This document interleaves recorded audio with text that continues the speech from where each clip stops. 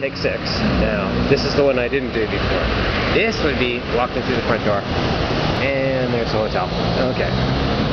Now, shh, don't say anything. There's a really, really, really, really amazing cute girl. I bet you right to my left. No, that disappoints me. It's just a guy there. uh, I took off uh, just after now, but this was where we were sitting uh, earlier today when the sun was still out and kind of shutting down. And this is actually really what the hotel actually looks through when you go walking in through the front door and uh, go walking through. And kind of windy here, but kind of quiet right now.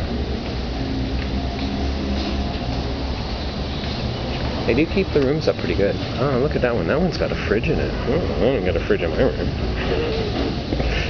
Eh, not that that'd be really that important. Here we go. Look at that. They actually park vehicles right inside the hotel lobby. Okay, now here's the real thing. This is the actual real bar. Um, nobody's really here now. Um, not really the real bar, just sort of a bar. And the actual pool, what it really looks like. And that picture that I was kind of showing everyone of the actual real building. And in here in the background, we got music. So we'll do a kind of pan around here and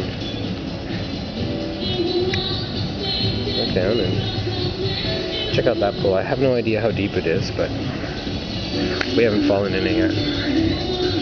And there's a hot tub. We haven't fallen in that yet either. Uh, they didn't give me this balcony, which is really good because if they had that balcony or this balcony, well, I don't know. If it was the second or third floor, I probably wouldn't jump. But if it was this one, if I got this room, probably sometime during my stay here, I would probably jump down and land in, the, in, in, in here, even though I'd have to land right in the middle without killing myself or breaking one of my limbs. But you know me, I would probably attempt it. Actually, it's looking kind of dirty in there. Look, there's just like red string or something in